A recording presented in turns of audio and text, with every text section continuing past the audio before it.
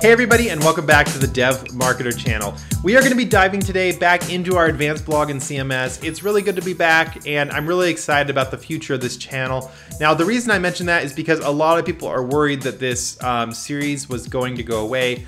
There was, I, I did consider getting rid of this series because of some complex issues that um, I'm not going to bother wasting your time with right here, but if you guys are interested in kind of hearing what my thoughts are with the channel originally and why this series kind of fell by the wayside for a while. You can link in the in the description. I made an unlisted video. You guys can go watch um, with me just kind of going over some of those concepts and kind of explaining all of that. So if you guys are interested in that, go check out that video. Otherwise, for the rest of you guys, I'll just let you know that we are going to be continuing this series.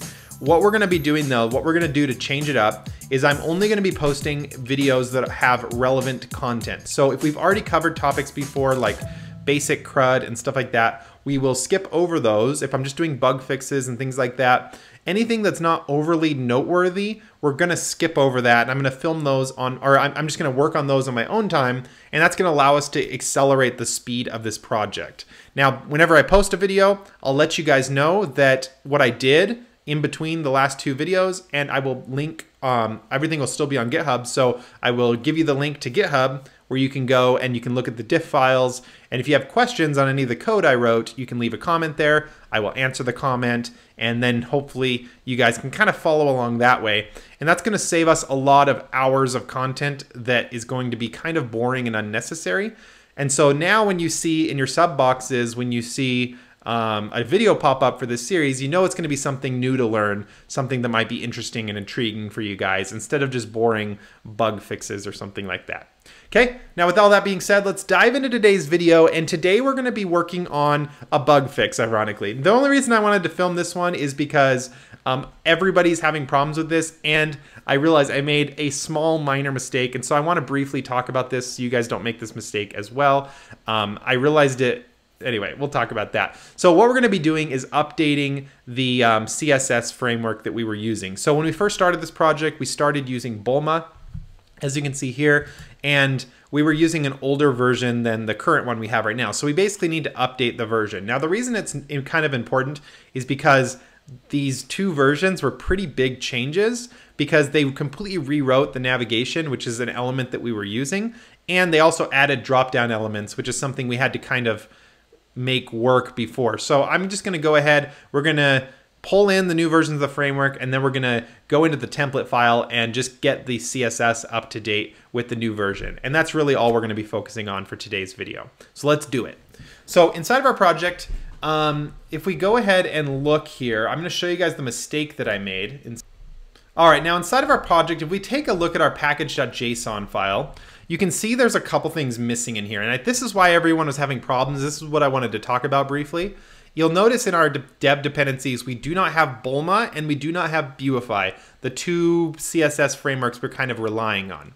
Now, um, this is why a lot of you guys were having problems, especially if you reran um, your Laravel mix, you were having problems is because you didn't have these frameworks and I failed to actually save the framework into our package.json file. So what happened is after you guys cloned it from GitHub, you couldn't, and you ran an npm install, it wasn't installing the packages that I had previously installed because I hadn't saved them in the package.json. So I had only saved them locally. So make sure that you don't fall mistake, you don't, you know, make the same mistake that I did. And so when you do this now, when you do an npm install, um, in this case Bulma, make sure you do a dash dash save or a dash dash save dev in this case because it, we only we only need it as a dev dependency.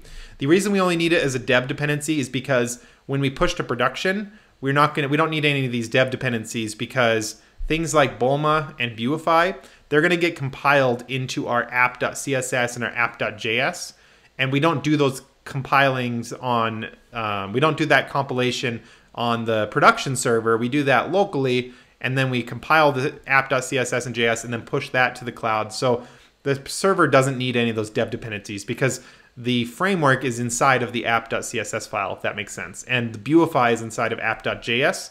So we don't need to bring in the raw framework because they're already inside of our compiled uh, files.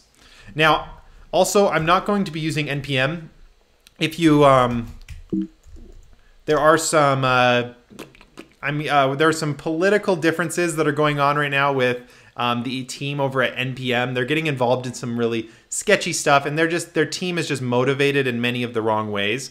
And I just don't like that they're using their organization to push certain political views. And I just I just think it's wrong. And so I'm very much against NPM right now, and I do not want to really um, involve them. And if they go defunct, the world would be a better place, in my opinion. So I'm just going to be using Yarn from now on. Luckily, the internet is a place of choice, and we have the choice to do this. So um, I'm just going to be using Yarn, and Yarn is actually a superior product anyway. It's faster. It's um, you don't have to remember to save your dependencies and make the mistake that I had because if you do an yarn add, which is the equivalent to npm install, um, it will automatically save into your package.json. So you don't need to make to remember to do dash dash save. And so um, that's one big benefit to Yarn. Plus, it's faster, it's better. In just about, there's really no reason to use npm. Honestly, Yarn is honestly better in every single way. Now, the reason I had not used, I had stopped using Yarn because I was using Yarn for everything. I stopped and went back to npm was because Laravel Mix was having a problem with Yarn for a while, but that seems to be fixed. It seems to work just fine. So I'm back to using Yarn. So we're just going to do a yarn add bulma. And then normally that's okay. That would save it into your package.json. Now we do need to pass in a flag because we just want it as a dev dependency, not as a normal dependency. So just do dash dash dev to tell it to save it as a dev file and then it will go ahead and run. And you'll see it's much, much faster, obviously, than NPM. That would have taken like two minutes on NPM. So um, now let's go ahead and also um, yarn add Buefy dash dash dev. So we're using the Buefy, uh, that's the Vue Bulma framework. So we want to go ahead and add that. And this should give us both of these two dependencies. You can actually see the project updated down here. We now have Bulma and Buefy updated, okay? So there we go. So these are both up to date. We're using the current versions, uh, 0.5.3, which I believe was, that is the current version of both of them. So uh, 0.5.3. Okay, so now we got that up to date and we have the new packages. So the next thing we want to do is just run a Laravel mix command to recompile it, and then we'll have all of the new versions inside of our app.css and app.js. So once again, just do yarn run uh, we can just do run watch, is, or just do run dev. Okay, let's go ahead and let that run. All right, so you inevitably run into problems whenever you update something like your Laravel version. So Laravel 5.4 to 5.5. I did run into a problem here where I had this error when running uh, yarn dev, yarn run dev.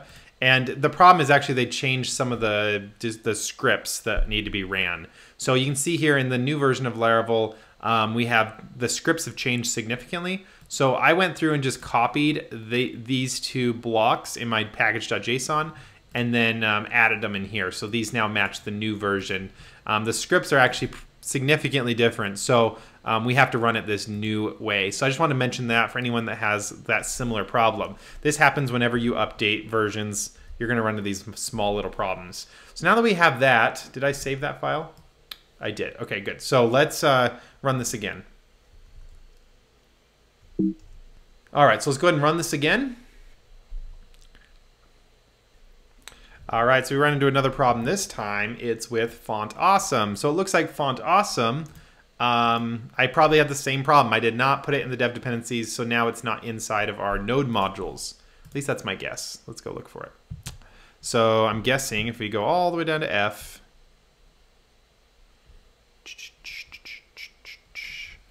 font awesome. I don't, um, I do not see it. Yep, it's not there. Okay, so I must have added font awesome through npm. From what it's looking like, it's trying to find it in my node modules and it's not there. So we need to add it. So let's go ahead and do it. Yarn add font awesome. So yarn add font awesome dash dash dev. Let's go ahead and bring that in.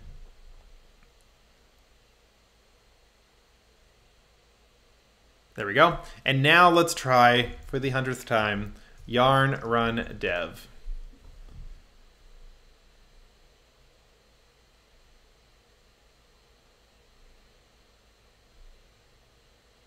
There we go. It works. Yay. Um, so this is actually one of the reasons I wanted to make this video is because I know a lot of people get stuck on these types of issues and I wanted to help kind of walk you through the process. So now you guys know, hopefully no one gets stuck on that anymore. Um, so with that being done, we now have an updated, our app.js and app.css file are up to date with the new versions of Bulma and Buefy. So now there wasn't really any change to Buefy, I don't think. It wasn't that big of a deal, but um, the one components that we do need to change in Bulma is the navigation. So to do that, um, elements, maybe? Where's navigation at?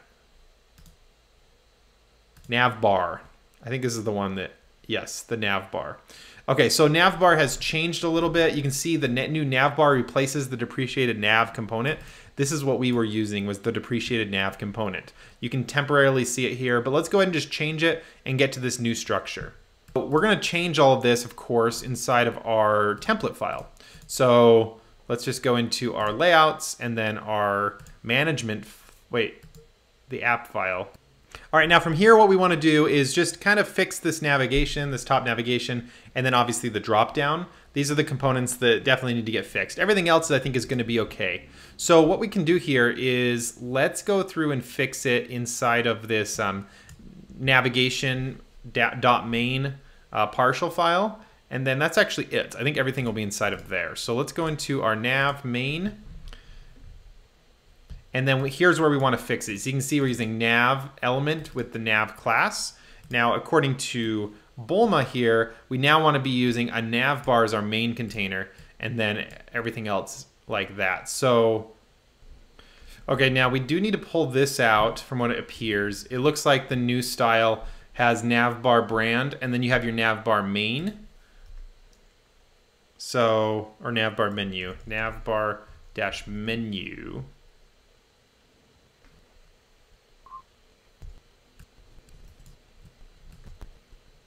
Okay, and the navbar start is the left hand of the menu, navbar end is the right hand. So for us, we wanted to put these items up here in navbar start. And then nav, I think this will still work.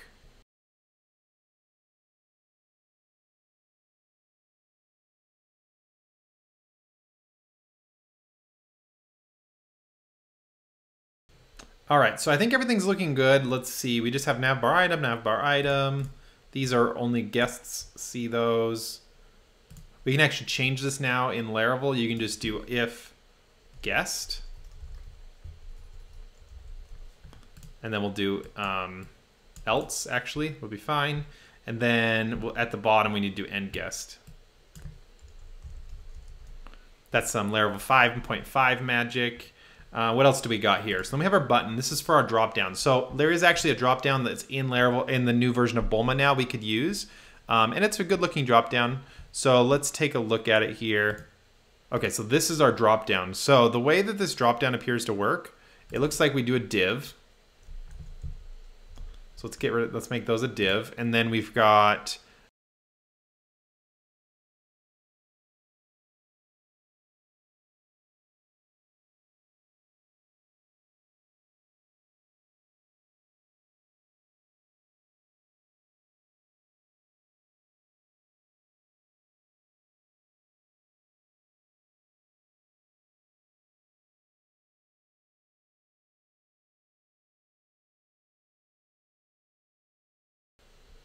Okay, so I think we've done everything. Let's go ahead and take a look at this in the browser and see how, how uh, messed up it is.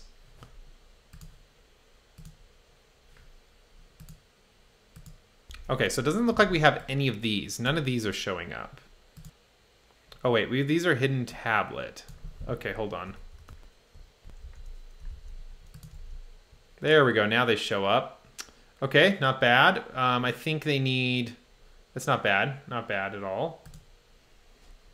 Now let's go through and fix some of the, I think there's some jQuery messing this up. So then let's go through into our assets, our JavaScript, app.js, and yep, right here, let's just go through and mess and delete this. And let's also recompile um, yarn. Okay, hold on. Let me um, let me make sure I'm not overriding this has dropped down. That might be messing this up. So let's uh, go into our um, our Sass and I think our overrides. drop down, drop down menu. So we can probably override all of this. In fact, let's go ahead and just, actually none of this will matter either. Okay, let's go through. We're going to comment out all of this. And then we're going to comment out all of this. So this is our drop-down menu that we don't need anymore. Um, there we go, ran. Let's go check this in the browser. Some reason our navigation isn't showing up. I don't know why. Um, nav bar dropdown is right. Let's just double check to make sure we're doing everything right here. Oh, okay, hold on. That's the problem. It's this div. This closing div is in the wrong place. Okay, so this needs to wrap the entire dropdown, which makes total sense.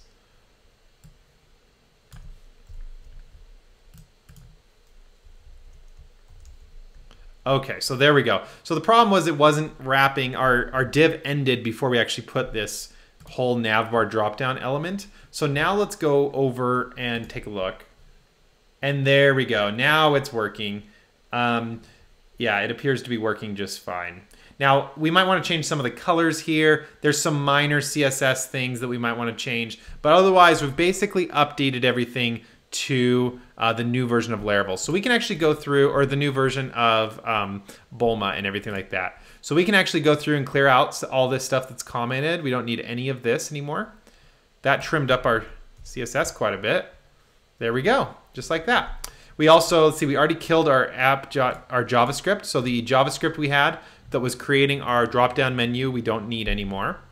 And we could also get rid of in our Bootstrap, we really, I do not intend to use jQuery. So we can actually get rid of jQuery too. I'm just gonna comment it out for now. Um, but let's go ahead and clear out, that'll clear out our app.js and make it a lot smaller. So um, our app.js is down to one megabyte. It was up to, can we see? 1.27, I guess. So we cut off a quarter of a meg. So that's it for this today's episode. I will see you guys in the next episode. Be sure to stay tuned for other great content coming on this channel other than the, just this series, but we still have more great content coming from this series as well. So make sure to subscribe if you haven't already. Until next time, guys, I'll see you guys in the next video.